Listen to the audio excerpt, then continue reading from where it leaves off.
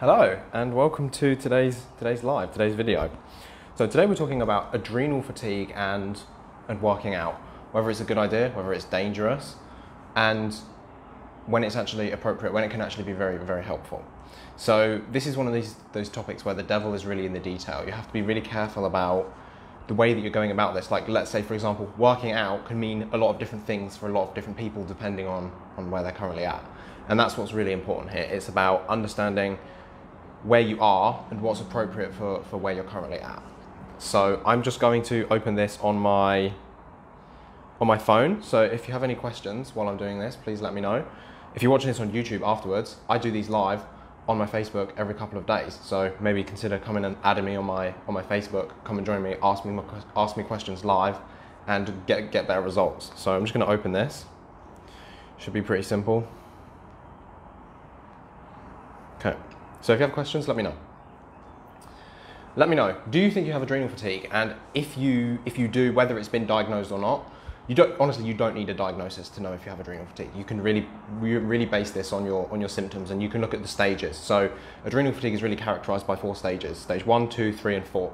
Stage one being the least bad, stage four being the worst, really bad. So the reason that I have the authority to talk about this is I've been at stage four adrenal fatigue. I have had severely debilitating fatigue, and I also had this in combination with chronic fatigue syndrome. So I've really been at that place where I was, I was completely bedridden. I was debilitated. I could not function. I had a full-time carer. I was on disability. I was really, really ill, and I've made it back to. I'm now at the point where I'm at state. I'm at stage one now and I'm progressing from stage one to not having adrenal fatigue anymore. So that's why I, I wanted to, to make this video because I've, I've come through all these stages, you know, I know these stages intricately because I've been through them myself. And I've learned a lot of good things and bad things, things to avoid, things to do on the way. And I want to share them with you today. So let's get started. Working out on adrenal fatigue. I'm going to say generally, if you're at stage three or stage four, it's just like a flat out no. Stage four, you're, you're, probably not even able to get out of bed. You're probably not even able to function like on a daily basis. You, you probably can't work, wouldn't be able to do any like physical labor. You probably have very low levels of strength. You probably really just struggle to get through the day. Exercising, you're probably not even thinking about exercising if you're, if you're at stage four. It's probably not even on your radar, and that's with a good reason. You, you don't want to be doing that at all. When you start moving to stage three, I'd still discourage exercise. So at this point, you're really what happens in adrenal fatigue is you're you're draining your body faster than it's being replenished. And if you're at stage three, you're still probably draining it faster than it's replenishing. You're, you're stuck in this limbo where you're still not replenishing your body fast enough. So at this stage, instead of focusing on doing things like exercise, which have a, they can have benefits, but at this stage, it's more taxative than beneficial. I, I, I would discourage it. At this stage, like maybe gentle walks, you know, walking at a very slow pace, not inducing a, like an increased heart rate, not feeling any muscle soreness at all, just very gentle, purely aerobic. Probably wouldn't even consider it exercise, just gentle, gentle walking. When we start to get to stage two, we have a little bit more wiggle room. So at this point, the more debilitating symptoms are probably not so debilitating anymore. There's, you're probably able to get through the day and you just feel a little bit tired or you feel considerably tired. You might get muscle soreness after just doing normal things, you know, just cooking in your kitchen or bringing the bringing the groceries in might be enough to give you like uh, muscle fatigue. You might still be having what I call the the dreaded double cortisol spike. So it's like your your cortisol rhythm is supposed to happen when you have a big spike first thing in the morning, and then you're not supposed to have another spike throughout the day. But if you're still at this stage where you're, you're, at stage two, you're probably still having two spikes in a day. So you have one spike first thing in the morning, that's what gives you energy when you get up, and then you probably crash around like two or three o'clock, and then that's the sort of time where you, you feel like you want to have a nap or you feel like you're craving carbs or like coffee or coke or something like that and then you have a second spike and you feel re-energized and uh, if you're in stage stage three this second spike's probably happening like seven or eight o'clock if you're in stage two this is probably more likely happening like three or four o'clock in the afternoon you get that second spike of energy at this at this stage, you want to be really careful with with your exercise. I would probably use it. I'd probably try to use your first morning cortisol spike to, to do this. So I'd probably try and use an AM AM type of workout, and I probably wouldn't even still call it a workout. You know, at this point we're talking like more vigorous stretching, things like yoga, maybe going for a slightly faster paced walk, not not still not taxing yourself too much. At this stage, you still really want to be gentle because your batteries are still kind of depleted. We're still focused on on, on replenishing. That's the most important thing at this stage. So at, at, this point, like gentle yoga is probably the, the furthest extent that I would go, and like stretching. I wouldn't be like following a, any any type of workout either, like of, of any sort, like no cardio, no high intensity workouts, no weightlifting. I wouldn't do any of that just yet. I would still wait to help your body replenish itself properly. When we get to stage one, so at this point, you're probably like on a day when you have a lot of stress, you might still have that second spike. So you have that slump in the afternoon, but then you, you bounce back up quite quickly. Or you might not be having any second spike at all. You might be producing enough cortisol in the morning to, to give you steady energy throughout the day, and you're not having the second spike anymore. That's a really good sign that you're in the right place to start exercising. What's probably going to happen is when you do exercise on the day that you exercise, like for me today, I just had a workout this morning. On this day, you're going to deplete that first morning cortisol spike very rapidly because you have you, you, do a workout. So on these days, in this in at, at, this stage, it's quite likely that when you have a workout, you will get the second spike. So this is where we need to be mindful. We need to talk about pacing. So I've got I've got here we've got frequency. Let's talk at this point. So you want to make sure that you're you're working out in a way that is that feels good to you. That obviously working out feels feels nice. If you're doing the right kind of workout, you're doing something you're interested in. You want it to feel good but you don't want to be pushing yourself so far that it's, it's, it, it makes your symptoms worse. So this little second spike is okay. You don't want this to be causing like insomnia. You don't want this to be, if you have these, this, this second spike and your stress hormones are really elevated throughout the day, and it gets to the point where you're trying to sleep and your nervous system cannot calm itself down, you pushed too far. You've produced, you've made your, you've stimulated your body to produce too many stress hormones and it, it's, this is not beneficial because now you're not going to sleep properly. Not sleeping is absolutely the worst thing you can do for adrenal fatigue. So if you push yourself so far that it negatively affects your sleep, you went way too far. You need to dial it back a, a, a, a massive amount. So that, that really ties in nicely to this, this food and rest concept. So I've, I've never seen somebody recover from adrenal fatigue. And so, as I said, I'm, I'm doing, I've nearly done this myself. I've helped like hundreds of other people do this. I have universally never seen it happen in a, a sleep deficit and in a calorie deficit. Just doesn't happen, right? Your body is depleted. If you're not providing it the things that it needs to replenish itself, it just cannot recover. And the fact that you got to a place where you had adrenal fatigue in the first place means you were taking more from your body than you were giving it. So at, at this stage, we really, I, I would really not be using like any kind of calorie restriction and I would not be limiting rest like at all. If you need to have a nap in the day, absolutely have a nap. It's one of the most important things you can do. If it gets to the point, so I'm, I'm training with my with my partner Joanna, and she had a workout and then she had to sleep for six hours after that that workout. That is a good indicator that that was that was too intense. You know, not so intense that she couldn't sleep. So that's that's quite a good thing. She's got a good sensitivity to these stress hormones. Was able to turn it off quite well. But then needing that sleep of six hours after working out, that, that that's not good, right? She did sleep another full night afterwards, so that, that's good. It means her hormones are doing, they're doing quite well, but it just means it was a little bit too much too soon. But it's really good that she was able to give herself that rest. If your body's asking for rest, you have to give it the rest. If your body's asking for food, you have to give it the food. I know that you might be getting into this, especially with associated things of adrenal fatigue like excess weight gain and things like that.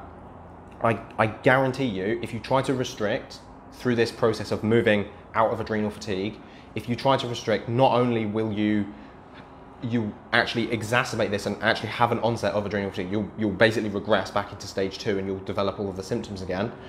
You will not lose weight. Your, bo- your body just will not. You, your metabolism will freeze. Your body will not feel safe expending energy. At this stage, your body needs to be replenished. We can talk about like calorie deficits and weight loss and stuff like that after the health problems are out of the way. You know, this is really important.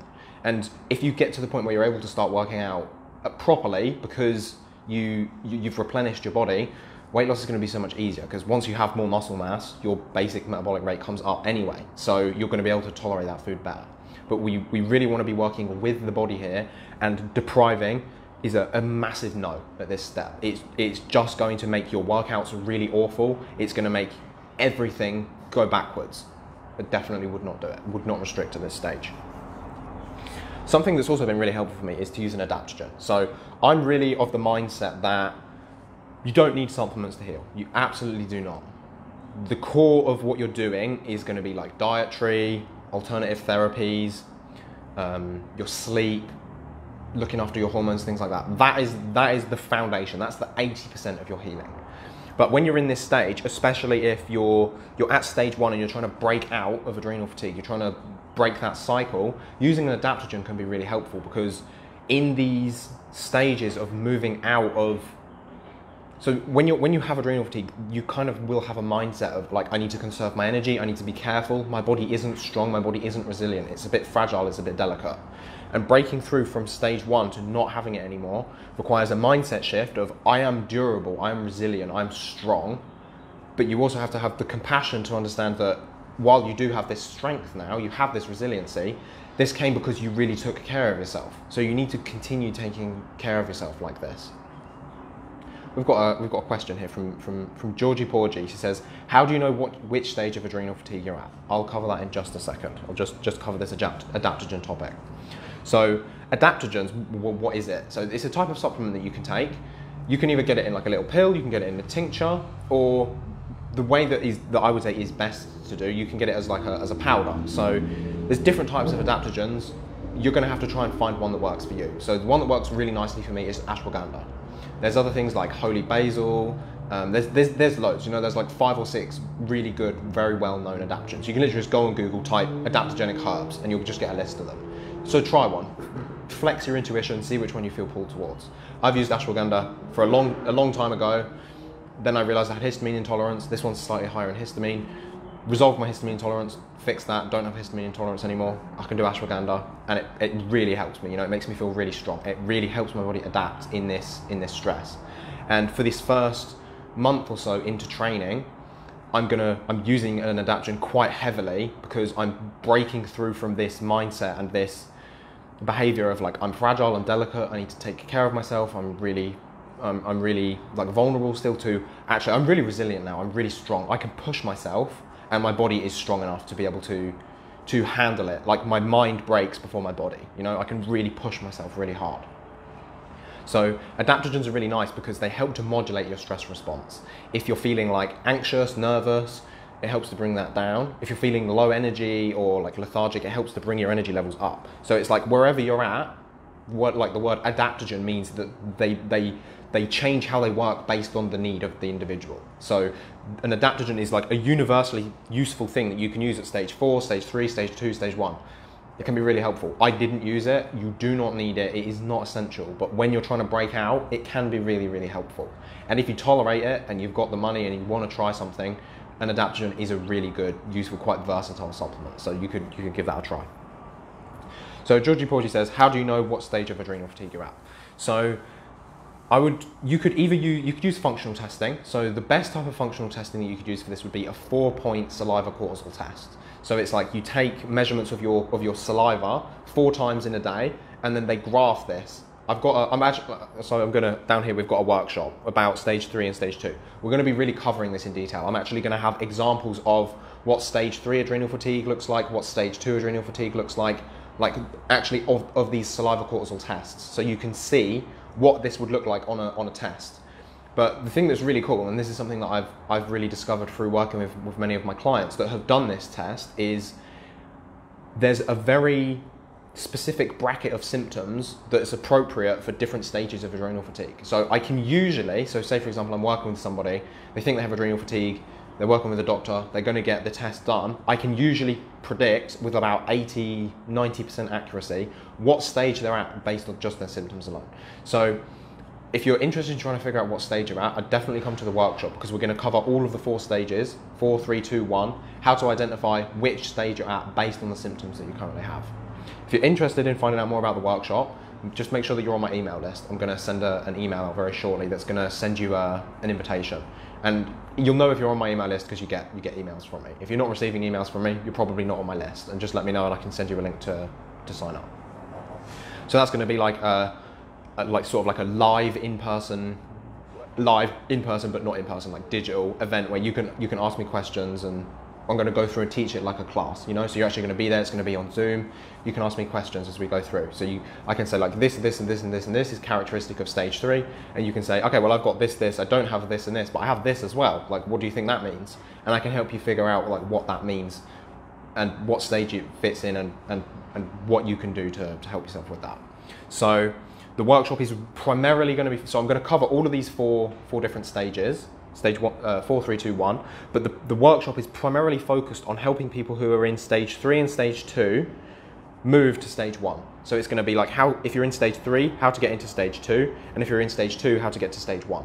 That's what I'm going to be covering in the workshop. So this was really more focused on don't work out if you're in stage four, three, and two. If you're in stage one, it's okay. Here's a good idea of, of, of what you want to be doing. But in the workshop, I'm going to be talking more about how to identify if you're in stage four, three, two, one, and then from there, I'm going to say straight away, if you're in stage four, get some personalized help. You know, you really need some one-to-one support. I can help you with that. Work with a doctor. Do do something. You know, a course isn't going to be enough. You really need someone's help at, at that point. But from stage three to two to one, it's it's quite it's quite there's quite some some very universally applicable things like make sure you're eating enough, make sure you're resting. We're going to talk about how to actually do this. You know, because it's all well and good to say oh yeah, you need to eat well. It's like, okay, well, what the hell does that mean? Because that's different for everyone. But there's some general, there's a general rule of thumb of, of what that actually looks like. Oh yeah, I know I need to sleep really well, but I have insomnia. So it's like, oh, well, that, that's a problem. So what can we do to improve your sleep? You know, so we're going to be talking about like sleep hacks, dietary modifications, what we can do to support you through through this process to get you to the point where you're at stage one, and then we can start working out and you can start like living the life that you that you want to have. So that's everything from today's video. If you have any questions, please let me know. And if you're gonna come to this workshop, leave me a little, leave me a little comment below. Let me know if you need to be signed up to the email list and I'll get you signed up. Let me know if you're already signed up and you're coming. It'll be really helpful to have a good idea of how many people are coming because I can only, I can only fit so many people in the class because otherwise it gets a bit chaotic. So if you're interested in coming to that, please let me know. So yeah, everything for today. Let me know if you have adrenal fatigue. Let me know if you're coming to the class. Let me know if you have any questions. Um, yeah, have a lovely day. Chao.